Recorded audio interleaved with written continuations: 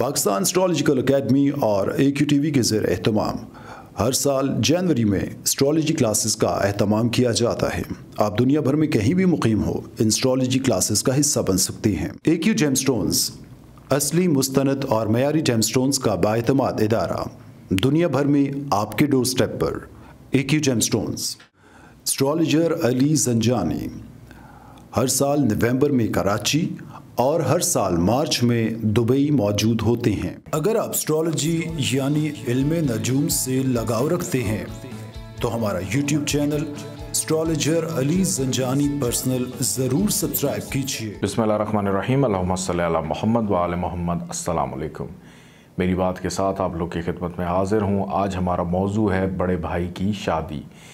चंद रोज़ कबल मेरे पास एक साहब तशरीफ़ लेकर आए और उन्होंने मुझे बताया कि उनके बड़े भाई की जब शादी होनी थी तो शादी होने में बड़ी दुशारी चल रही थी। फिर उसके बाद जब उनकी शादी की, शादी में नाकामी, फिर दोबारा से रिश्ता तलाश करना शुरू किया, शादी जब पहली ख़त्म हुई, उसमें भी प्रॉब्लम्स आनी शुरू हो गई।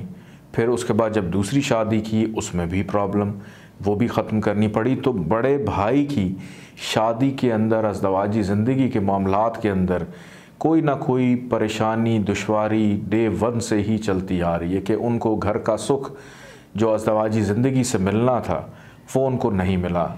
उनका मैंने जायचा बनाया, उस जायचे के अंदर जो भी रेमेडीज़ थी, उनकी मैंने करवाई हैं। फिर निकाह उनका एक अच्छे टाइम पे करवाया गया ताकि उनकी जो ख़राबी है वो दूर हो और अल्हम्दुलिल्लाह अब एक अच्छी खुशखोरम ज़िंदगी जो है गुजार रहे हैं।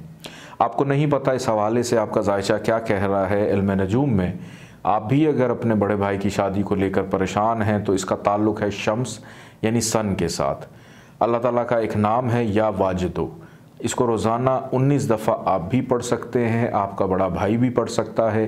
अव्वल आखिर चौदह दफ़ा दरूद पाक के साथ उन्नीस रुपये का सदका भी इसका निकाला जा सकता है और एक नगीना है, जर्द अकीक, पीला अकीक, वो भी पहना जाता है।